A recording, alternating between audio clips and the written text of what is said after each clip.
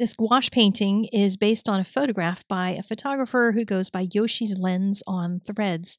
Fantastic work capturing the natural beauty of the state I live in, Washington.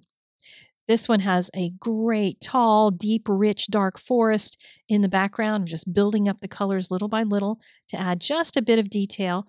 And then at the very tops of these trees, the sun is peeking in on just a few branches so they get really bright and intense. If you want to see part two, Painting the Yellow Tree, make sure you're subscribed and follow along for more.